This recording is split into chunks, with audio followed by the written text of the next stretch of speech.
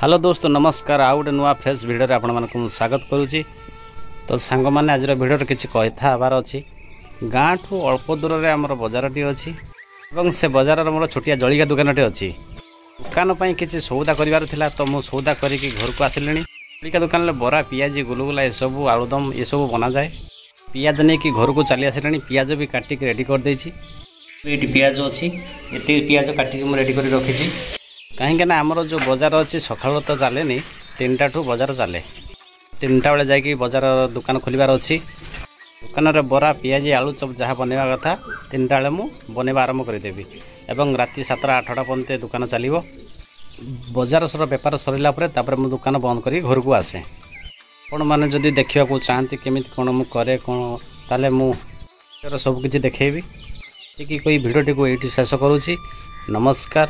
ଆଉ ଗୋଟେ ଭିଡ଼ିଓରେ ପୁଣି ଭେଟ ହେବ ନମସ୍କାର